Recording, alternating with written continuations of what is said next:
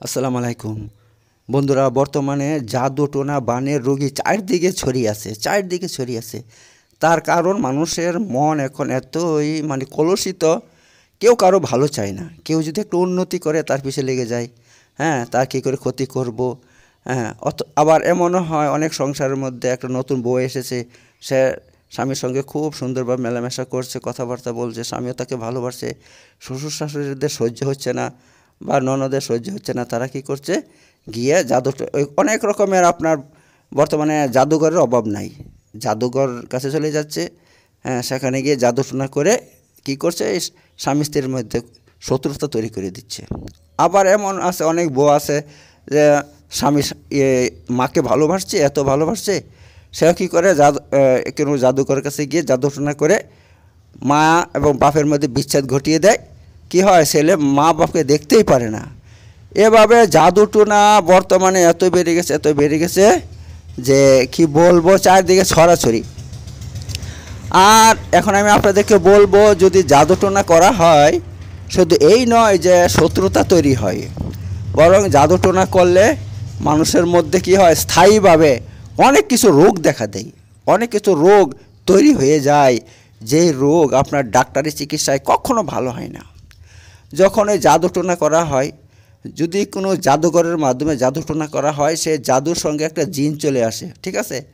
হয়তো দেখা গেল আপনাকে কিছু খাওয়ায় জাদু করেছে, অথবা আপনাকে তাবিজ কবজ বাড়িতে পুঁতে দিয়ে জাদু করেছে। যখন সে জাদুটা করবে, তার সঙ্গে একটা জিন চলে আসে। সেই জিনটা কী করে? যার ফলে জাদু করা হয়, তার শরীরে ঢুকে পড়ে। ঢুকে পড়লে কি হয়? তখন থেকে স্টার্ট হয় জাদু একেবারে। এবার ওই ওই লোকের শরীরের মধ্যে অনেক রকমের, অনেক কিছু নতুন নতুন রোগ দেখা যায়। যেরকমভাবে কারও কী হয়, কারও মানে পেট ব্যথা করবে। যদি মানে খাওয়ানোর জাদু করে মানে জাদু করা হয়, তাহলে পেটের মধ্যে এমন যন্ত্রণা তৈরি হবে, অথবা কারও মাথাতে যন্ত্রণা তৈরি হবে, অথবা কারও ঘাড়ে তৈরি হবে যন্ত্রণা। অর্থাৎ শরীরে কোনো না কোনো জায়গায় স্থায়ী যন্ত্রণা থাকবে। যেই যন্ত্রণা কোনো দিন ভালো হবে না। ডাক্তার দেখিয়ে হাজার হাজার ডাক্তার দেখালেও ভালো হবে না হ্যাঁ? আর ডাক্তার ওষুধ যতই খান, আপনার কোনো কাজ হবে না। আর মজার কথা হচ্ছে, আপনি চেক আপ করতে যাবেন, রোগও ধরা পড়বে না। কেন হচ্ছে, আপনি কিছু বলতে পারবে না। তখন ডাক্তার একটা আজে বাজে কথা একটা বলে দিবে, আপনার এই জন্য হচ্ছে, সেই জন্য হচ্ছে একটা কথা বলে দিবে, কিন্তু না। তো এরকম অবস্থা। শুধু তাই নয়, আর কি হবে? যে জাদুগ্রস্ত ব্যক্তির মধ্যে প্রচণ্ড রাগ তৈরি হবে। সে হঠাৎ আগে কিন্তু ভালো ছিল, আগে এত রাগ ছিল না, কিন্তু হঠাৎ করে আজ সে এত রেগে যায়, তার সঙ্গে কথা বললে বিশেষ করে আপনজনের সঙ্গে বেশি রেগে যায়। যেরকমভাবে ঘরের ভিতরে যেরকম মা আছে, বাপ আছে, ভাই আছে, স্ত্রী আছে, বা এদের সঙ্গে কথা বললে এতই রেগে যাবে, অস্বাভাবিক অস্বাভাবিক ব্যবহার করব ওদের সঙ্গে। ওদেরকে পছন্দই করবে ওদেরকে ভালো লাগবে না। অথচ অন্য মানুষের সঙ্গে ঠিক ঠিক কথা বলবে হ্যাঁ? বাড়ির ফ্যামিলি বাদ দিয়ে অন্য মানুষের সঙ্গে কি স্বাভাবিক কথা বলবে, ভদ্রভাবে কথা বলবে, ঠান্ডা মেজাজে কথা বলবে। কিন্তু ঘরে এলেই, ঘরে পা দিলেই তার মেজাজ কে হয়ে যাবে? একেবারে আকাশ ছোঁয়া হয়ে যাবে। তার কিছুই ভালো লাগবে না। শুধু তাই নয়, তার মধ্যে আর কি লক্ষণ পাওয়া যায়, তার মধ্যে এই লক্ষণ পাওয়া যায় যে তার শরীরের মধ্যে প্রচণ্ড ক্লান্তি আর দুর্বলতা থাকে।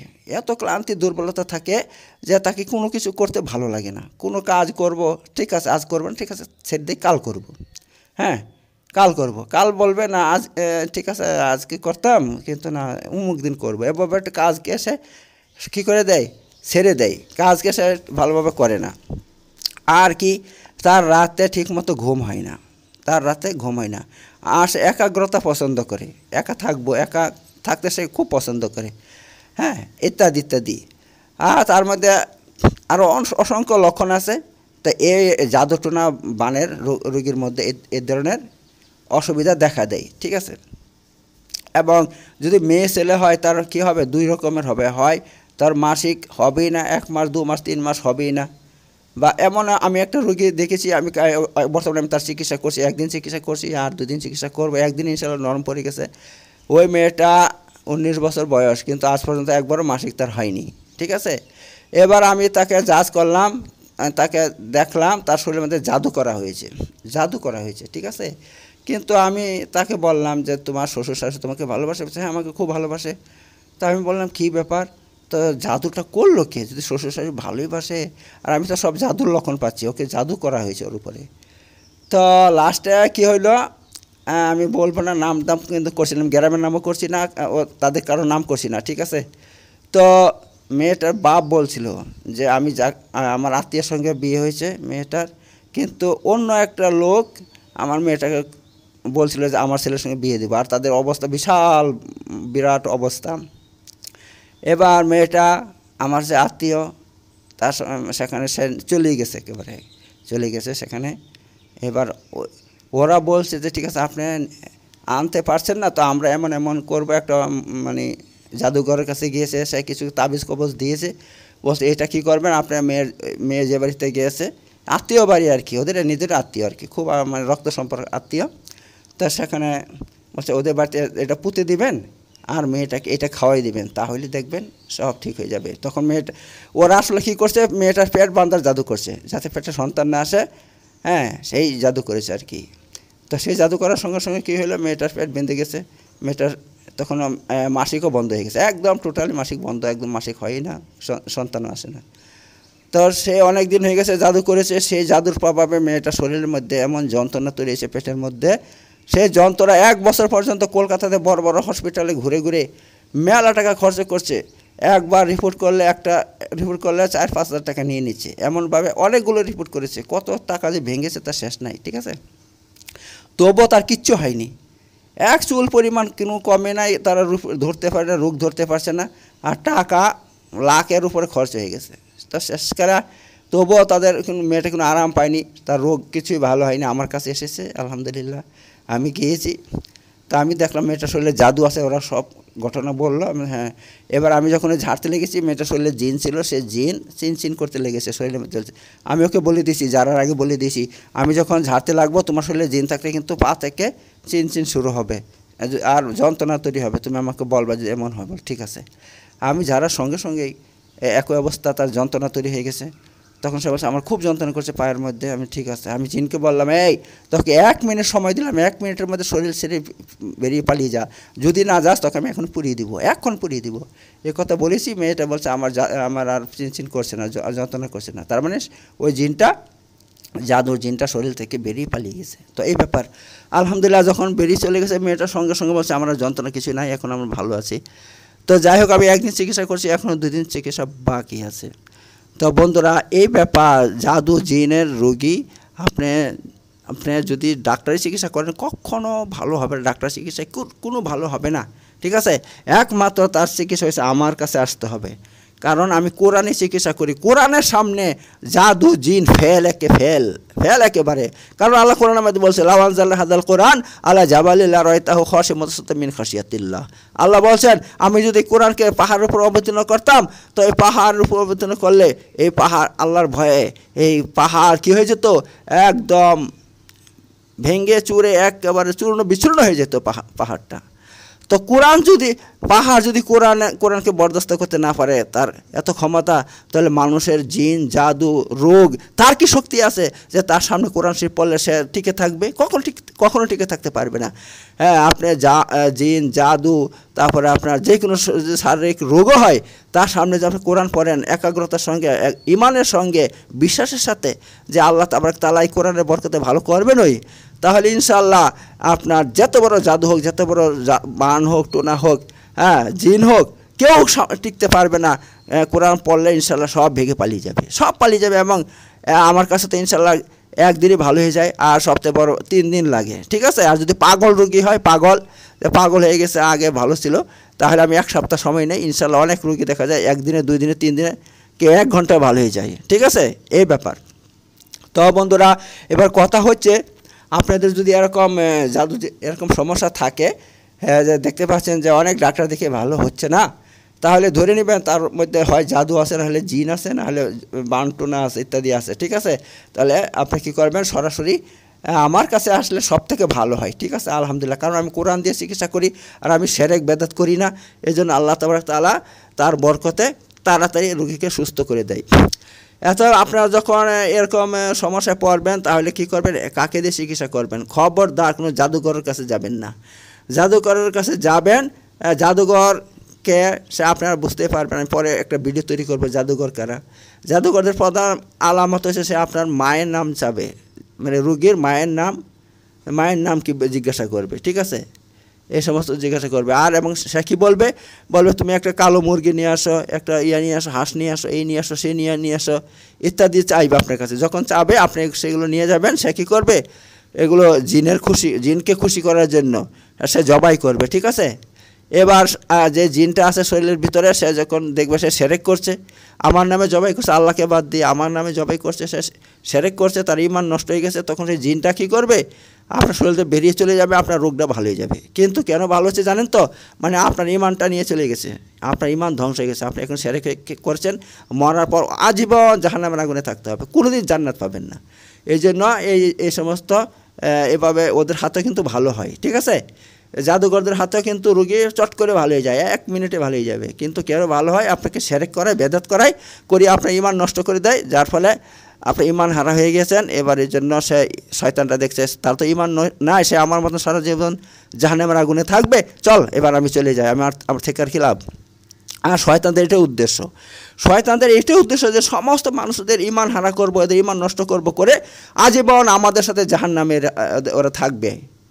আমরা জাহান নামে থাকব আজীবন, ওরা আমাদের সঙ্গে জাহান নামে থাকবে। যখন তারা এই উদ্দেশ্য পূরণ হয়ে যায়, তখন কিন্তু ওই শরীর ছেড়ে ওরা পালিয়ে যায়। এর জন্য জাদুঘরদের কাছে আপনি যদি যান, আপনার কিন্তু রোগ ভালো হয়ে যাবে। কিন্তু খবরদার, আপনারা কোনো জাদুঘরের কাছে যাবেন না বা ইমান নষ্ট করবেন না। সেরেক বেদাতে লিপ্ত হয়ে হবেন, তো আপনার সারা জীবন জাহানামের আগুনে থাকতে হবে। এর জন্য একমাত্র ইমানদার যারা ইমানদার সেরেক করে না, বেদাত করে আমি। আলহামদুলিল্লাহ, আমার কাছে আসবেন, তাহলে আপনার রোগও ভালো হবে, আপনার ইমানও বজায় থাকবে, আর আপনার যা মরার পর জান্নাতে যেতে পারবেন। ঠিক আছে বন্ধুরা? এই জন্য যাকে তাকে এই আপনারা যার পক্ষে চিকিৎসা করবেন না বন্ধুরা। কিন্তু আপনি যাবেন, যাদের কাছে যাবেন, আপনি তাবিজ কবজ দিবে, সেরে করাবে, ওদের কাছে গেলে কিন্তু রোগ ভালো হয়ে যাবে। ঠিক আছে? ভালো হবে কেন? শয়তান দেখছে, আমি সেরে করাইতে পেরেছি। তাবিজ সে গলায় দিয়েছে, এবার আমি পালাই। কিন্তু অনেক সময় আমি দেখেছি অনেক মানুষ তাবিজ, কবজ গলায় দেওয়ার পরও তাদের সমস্যার সমাধান হচ্ছে না। ঠিক আছে? মানে শয়তান তাদের তো সেরে করাচ্ছে, সেরে করা ওদেরকে জাহান্নামি বানিয়ে দিচ্ছে একদম গ্যারান্টি দিয়ে জাহান্নামি বানিয়ে দিচ্ছে কারণ আল্লাহ নবী সাল্লাম কী বলছে? মান তামিমাতান ফাঁকা দাস রাখা যে ব্যক্তি গলার মধ্যে তাবিজ লটকালে, সে সেরেক করল। আর যে সেরেক করবে, আল্লাহ কোরআনের মধ্যে বলছে, আমি তার সমস্ত আমল ধ্বংস করে দিই। সে দুনিয়াতে যত আমল করবে, তার সমস্ত আমল ধ্বংস করে দেয়। কে আমতের দিন সে তার একটা আমল দেখতে পাবে না। এত সে চিরদিন জাহানামের আগুনে থাকবে। ঠিক আছে, এই ব্যাপার। তো বন্ধুরা, আপনারা যদি এরকম সমস্যায় পড়েন ইনশাল্লাহ আমার সঙ্গে দেখা করবেন। এবার আমি কি করি দেখেন, আমি একটা কথা বলে দিই ভাই। আমার কাছে এলে গ্যারান্টি চিকিৎসা ইনশাল্লাহ ইনশাল্লাহ আল্লাহর উপর ভরসা করে আমি গ্যারান্টি দিচ্ছি। আমার উপর ভরসা করেন, আল্লাহর উপর ভরসা করি। কারণ আল্লাহ বলছে, আমার বান্দা আমার উপর যেমন ধারণা রাখবে, আমি তার সঙ্গে সেমন ব্যবহার করি। আর আমি আমার আল্লাহর উপরে এই সুধারণা রাখি যে আমার আল্লাহ আমার প্রতিটা রোগী, রোগীকে ভালো করবেন ওই করবেন। আমি সুধারণা রাখি, এই জন্য আল্লাহ তালা আমার প্রতিটা রোগীকে ভালো করে দেয়, সুস্থ করে দেয়, ইনশাআল্লাহ। এত এবার কথা হলো দেখেন, জিন বল, জিন জাদু এমন একটা জিনিস হ্যাঁ এমন জিনিস, জিন, আমি যখনই আপনার শরীর যা- যাদেরকে জাদু করা হয় তাদের সঙ্গে কিন্তু জিন থাকে, ঠিক আছে? জাদু, প্রতিটা জাদুর একটা করে জিন মানে এরকম কি করা হয়? জিনকে ছেড়ে দেওয়া হয়। যখন কেউ জাদু করবে, জাদুকর জাদু করবে, তার শরীরের মধ্যে কি হবে? জিন একটা ঢুকে যাবে। জাদু করলেই ঢুকে যাবে। ঢুকে গেলেই এবার সেই জিনটা যতক্ষণ পর্যন্ত শরীরে থাকবে, তাকে বের করা না হবে, ততক্ষণ পর্যন্ত ওই জাদু কোনো দিন নষ্ট হবে না, নষ্ট হবে না। কিন্তু এটা কেউ জানেই না। আর এখন বর্তমানে আমি গ্যারান্টি দিচ্ছি, এখন যারা এই সমস্ত চিকিৎসা করে জাদুঘর আছে, অথবা এরকম অনেক কবিরাজ আছে, চিকিৎসা করে, ওরা ওই জিনকে বের করার ক্ষমতা ওদের নেই। কারণ সেরকম এলএম তাদের কাছে নাই, আর এলএম থাকলেও তাদের সেরকম আমল নাই, ঠিক আছে? এর জন্য তাদের দ্বারা কাজ হয় না। আর আলহামদুলিল্লাহ, আমি সকাল বিকাল, আলহামদুলিল্লাহ আমি আমলগুলো করি, নিয়মিত আমল করি, যার ফলে ওই সমস্ত জিনেরদের কাছে আমি খুব ভারী, বিশাল ভারী। আমি ফু দিলেই তাদের শরীরের মধ্যে আগুন লেগে যায়। যার ফলে হয় শরীর সেরে পালায়, তা নাহলে ওই শরীরের ভিতরে আগুন লেগে পড়ে যায় ওরা। এত রোগ গ্যারান্টিতে ভালো হয়। এবার কথা হচ্ছে ভাই এই ধরনের অনেক রুগী দেখেছি আমি তারা এক লাখ, দেড় লাখ টাকা খরচ করেছে। এক বছর কলকাতাতে এই হাসপাতাল, সেই হাসপাতাল হ্যাঁ ঘুরে ঘুরে কত রকমের চিকিৎসা করছে। কোথাও ভালো হচ্ছে না, রোগ ধরা পড়ছে না। সেখানে ওরা পঞ্চাশ, ষাট হাজার, সত্তর হাজার, এক লাখ টাকা খরচ করছে। আর আমার কাছে এসে বলছে হ্যাঁ আমি গ্যারান্টি দিচ্ছি, আমি বলছি, ভাই, দেখো, তোমার জাদু এবং জিন এই দুটো জিনটা বের করে দেবো আর জাদু কাটিয়ে দেবো, ঠিক আছে? আমি বেশি নিচ্ছি না, পাঁচ হাজার টাকা লাগবে। আর বাড়িটা বেঁধে দিব যাতে দ্বিতীয়বার ওই জিনটা তোমার বাড়িতে প্রবেশ করতে না পারে। যার জন্য ইনশাল্লাহ সারা জীবন গ্যারান্টি থাকবে, মেয়েটা সুস্থ হয়ে যাবে বা ছেলেটা সুস্থ হয়ে যাবে, আর তার হবে না এই জন্য বাড়ি বেঁধে দিব। আর বাড়ি বাঁধার জন্য হ্যাঁ আমি বেশি লেই না, পাঁচ হাজার টাকা লেই। আর আমি গ্যারান্টি আর আমার বাড়ি এমন করে বেঁধে দিচ্ছি, আজ পর্যন্ত দেখেন আমাদের গ্রামের মধ্যেই অনেক কটা বাড়ি বেঁধেছি, একটা বাড়ি বেঁধেছি মানে ভালো, প্রভাবশালী ব্যক্তির। বাড়ি বেঁধেছি তা আলহামদুলিল্লাহ যেদিন থেকে বেঁধেছি না, সেদিন থেকে ওর মেয়েটা একদম সুস্থ হয়ে গেছে, একদম। আর ওরা নিজেরা বলছে যা এই যে কাঠ বিড়ালিগুলো আগে বাড়িতে এসে খেলা করতো, এই করতো, সেই করতো, ছাদে খেলতো, তারপরে ফলের গাছে সমস্ত খেত। কিন্তু যেদিন থেকে বাড়ি বেঁধে দিয়েছেন আপনি, সেদিন থেকে ওরা সীমানার চারিদিকে ঘুরে বেড়ায়, কিন্তু সীমানার ভিতরে ঢুকতে পারছে না। যদি কাঠ বিড়ালি ঢুকতে না পারে, তাহলে জিন কী করে ঢুকবে? ঠিক আছে? এই ব্যাপার। এইবারে অনেকে বলে যে বাড়ি বান্ধাটা কি জায়েজ না না জায়েজ? দেখেন ভাই বাড়ি বান্ধাটা আমি কিন্তু আমার অভিজ্ঞতা থেকে বলছি আমি যত কটা বাড়ি বেঁধে দিয়েছি আলহামদুলিল্লাহ সেই বাড়ির মানুষ সুস্থ আছে এবং তাদের কোনো অসুবিধা হয় না হ্যাঁ? কারণ আমি কোরআন দিয়ে তো আমি বাড়িটা বান্ধি কোরআনের আয়াত পড়ি এই সমস্ত পড়ে আমি সেগুলো পানিতে পরে ছিটাই এবং চার কোনাতে চারটা এরকম ইয়া রাখি তার ভিতরে এ, কোরআনের আয়াত পড়ি যার ফলে আলহামদুলিল্লাহ শয়তান আর ডিঙ্গা ওই বাড়িতে ঢুকতে পারে না ঠিক আছে? তো এই ব্যাপার। তো আমি ভিডিওটা বেশি বড় করব না বন্ধুরা। তো বুঝতে পারছেন, আপনারা মানে শেষ কথা হচ্ছে এই, যখনই আপনি দেখবেন যে আপনার রুগীর অনেক চিকিৎসা করাচ্ছেন, কোথাও ভালো হচ্ছে না। হ্যাঁ কোথাও ভালো হচ্ছে না এবং তার যে সমস্যা সে সমস্যা থেকেই যাচ্ছে। একটুও কমছে না। যেরকমভাবে আমি একটা রুগী আমার বাড়ির পাশে, তার মাথার যন্ত্রণা একদম ভালো হচ্ছে না। হাজার ডাক্তার মানে কত ডাক্তার দেখিয়েছে, অসংখ্য ডাক্তার দেখেছে মানে কোন ওষুধ খাচ্ছে, কোনো মতেই তার এক চুল পরিমাণও সেই সমস্যার সমাধান হচ্ছে না, ঠিক আছে? এবার কাল আমার কাছে এসেছিল, আমার সঙ্গে কথাবার্তা বলল, আমি তার দায়িত্ব নিয়েছি, ইনশাল্লাহ যে ঠিক আছে আপনার কাজটা করে দেবো। এবার আমি অনেকগুলো কাজ করেছি, আমাদের এ দেখেন আমাদের গ্রামের মধ্যে বলি নাম পর্যন্ত বলে দিচ্ছি, এই তাপস। হ্যাঁ তাপস বলে একটা আমাদের হিন্দুদের। তার মেয়েটা পাগল হয়ে গেছিল। পাগলের মতন, সব সময় মানে পাগলামি করতো, শুয়ে পড়তো, মুখটা নিচে করে আর চিল্লাচিল্লি করতো। অসংখ্য ভিডিও তারা তৈরি করে রেখে দিছে তা চিল্লাচিল্লি করতো, বাড়িতে এরকম আর কত ডাক্তার দেখিয়েছে, কলকাতাতে এমন ডাক্তার নাই যে দেখায়নি। আর আমাকে ওষুধ দেখিয়েছে, এক বাক্স ওষুধ আছে ওদের। কিন্তু এত কোনোতে খুশি কম, কমেনি।